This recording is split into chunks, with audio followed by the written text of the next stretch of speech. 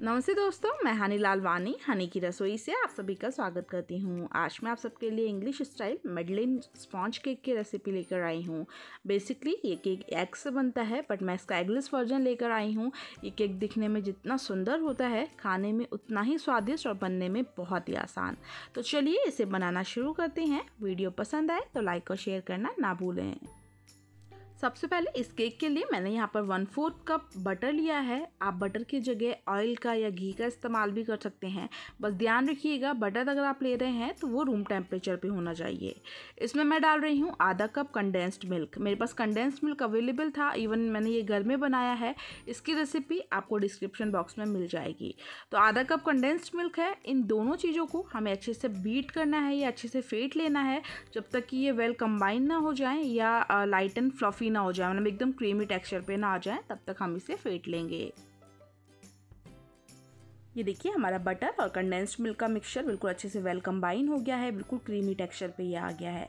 अब इसमें हम अपने ड्राई इंग्रेडिएंट्स डाल देंगे तो एक छलनी हम रख देंगे। इसमें डाल रही हूँ एक कप मैदा। साथ ही इसमें हम डाल देंगे हाफ़ टी स्पून यानी आधा छोटे चम्मच बेकिंग पाउडर और चौथाई छोटी चम्मच खाने वाला सोडा या मीठा सोडा या बेकिंग सोडा आप कह सकते हैं। इन तीनों चीज़ों को अच्छे से मिक्स करके हम छान लेंगे। ड्राई इन्ग्रीडियंट्स को छानना काफ़ी ज़रूरी है, इससे हमारे केक काफ़ी लाइट एंड फ्लफ़ी बनते हैं। अब इन सभी चीज़ों को अच्छे से हम मिक्स कर लेंगे। मैं हर बार बताती हूँ, इसे आप ओवर मिक्स ना करें, यानी इसे आप फेंटे नहीं। जस्ट हमें सब चीज़ें कंबाइन हो जाएँ, तब तक हमें इन्हें मिक्स कर लेना है। साथ ही इसी स्टेज पे आधा कप दूध डाल देंगे। दूध एक साथ पूरा ना डालें थोड़ा थोड़ा सा डालते जाएँ और इसे हम मिक्स करते जाएँगे। और ध्यान रखिएगा, आप जो भी इंग्रेडिएंट्स ले रहे हैं इंक्लूडिंग मिल्क सब कुछ रूम टेम्परेचर पे होना चाहिए। बिकॉज़ दूध अगर आप ठंडा लेंगे तो बटर जो हमने इसमें डाला है, वो वापस सेट होने लगेगा। तो इसलिए सारी चीज़ें रूम टेम्परेचर की हों। ये देखिए, सारा दूध मैंने यहाँ पर ऐड कर दिया है और हमारा जो बैटर है वो बन करके रेडी है।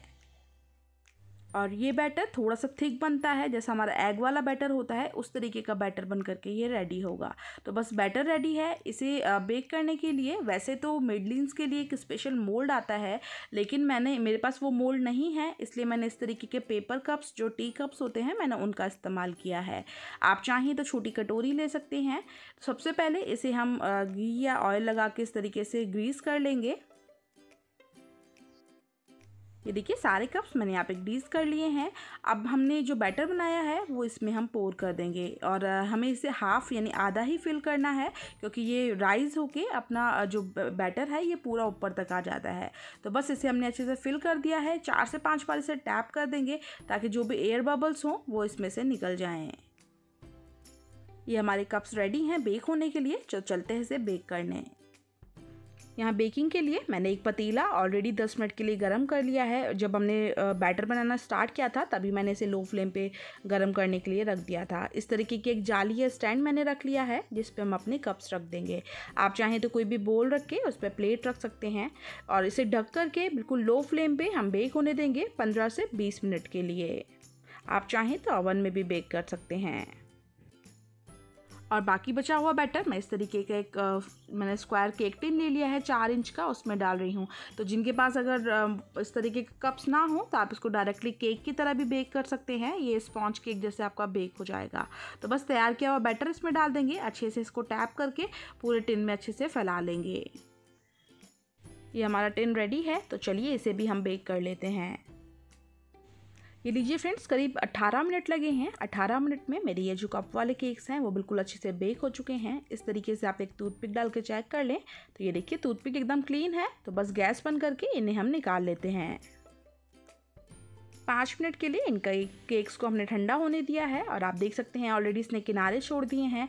हल्का सा इस तरीके से आप नाइफ़ घुमा लें बहुत ही आसानी से ये निकल आएगा। देखिए, बिल्कुल स्टिक नहीं हुआ है, बहुत ही आसानी से निकल आते हैं। इसी तरीके से सारे केक्स हम निकाल लेते हैं।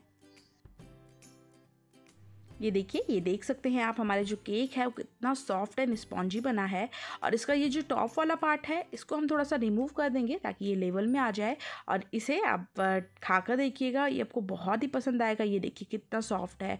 और टेस्ट में भी बहुत अल्टीमेट है। मैं यहाँ जो वनीला एसेंस डालना भूल गई थी, बट विदाउट वनीला एसेंस भी ये बहुत टेस्टी बने हैं।